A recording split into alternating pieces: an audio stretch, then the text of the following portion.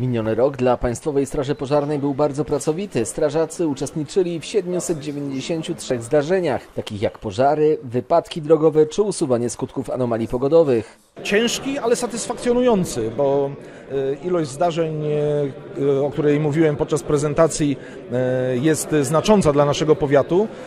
Natomiast satysfakcję przynosi fakt, że udało nam się wiele rzeczy w ubiegłym roku jak gdyby zrealizować. Zakupy samochodów, uzupełnienie sprzętu informatycznego. To ważne elementy dla funkcjonowania naszej, naszej komendy, naszej jednostki. Strażacy w minionym roku walczyli z wieloma pożarami. Na szczęście tylko jeden z nich był bardzo duży.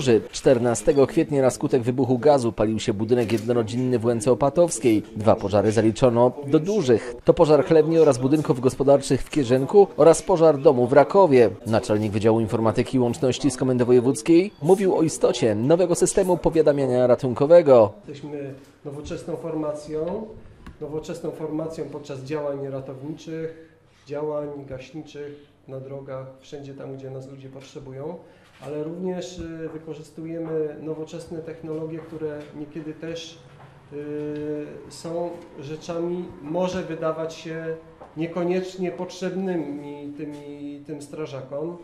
Chciałbym jeszcze tutaj przedstawić jedną y, ważną rzecz, że w ubiegłym roku została jeszcze dokonana integracja systemu powiadamiania ratunkowego z systemem wspomagania dowodzenia Państwowej Straży Pożarnej i właśnie realizacja tych zadań, zakupu serwerów, komputerów, y, urządzeń teleinformatycznych wspomagających pracę działań ratowniczych jest ważna.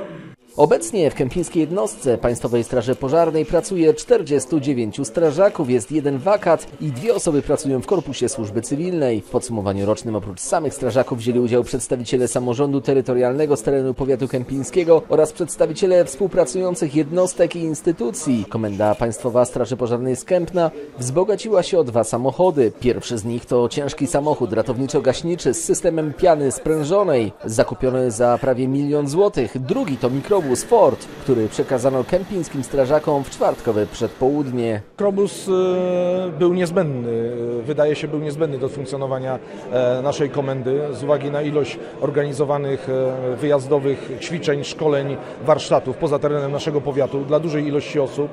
Do tej pory posiłkowaliśmy się samochodami tego typu, będącymi w posiadaniu samorządów terytorialnych, za co e, chciałbym z tego miejsca serdecznie podziękować e, wójtom i burmistrzowi naszego, e, naszego powiatu. Także będzie wykorzystywany i będzie nam na pewno służył. Bardzo się cieszymy, że go otrzymaliśmy. Zakupiony mikrobus za 155 tysięcy złotych współfinansowany jest ze środków unijnych, a zrealizowała go Komenda Wojewódzka Państwowej Straży Pożarnej w Poznaniu.